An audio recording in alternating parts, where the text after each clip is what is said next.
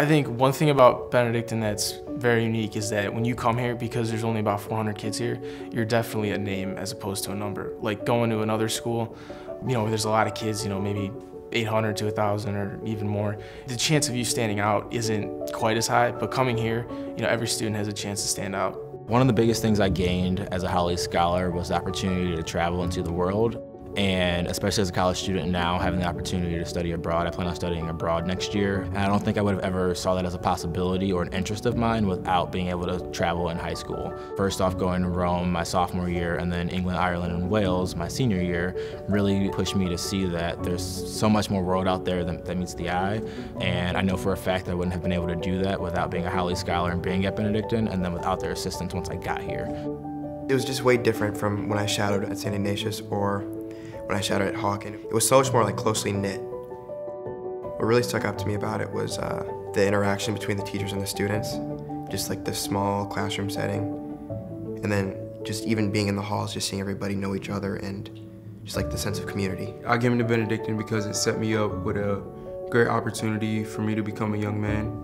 I've learned how to be a leader in the classroom and also a leader in sports. Always for me, academics comes first.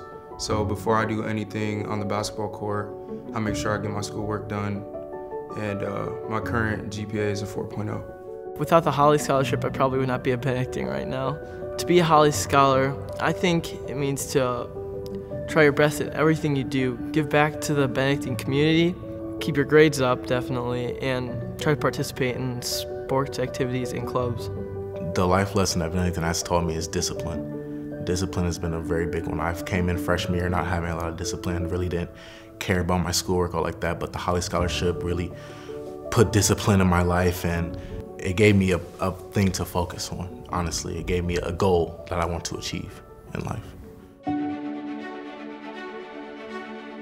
Really being able to be a worldwide citizen instead of just a Cleveland citizen or Ohio, um, but be able to see that there's so much more that I can do in the world and that the world has to offer me. And that's one of the biggest lessons that I learned from the Howleys. It's very generous and it's very helpful to my mom, especially for a, a time um, in her life where she was going back to school for a degree and just trying to manage three kids on her own.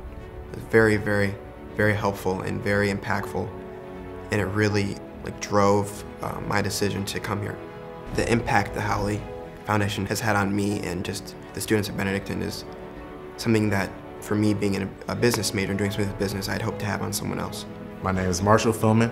I am from South Euclid, and I am part of the senior class of 2018. My name is Kashawn Perry from the class of 2018, and I am from Warrensville Heights. I'm Connor O'Donnell. I'm from Fairport Harbor, and I'm in the class of 2019. My name is Evan Tycho. I'm from Cleveland, and I'm part of the class of 2019.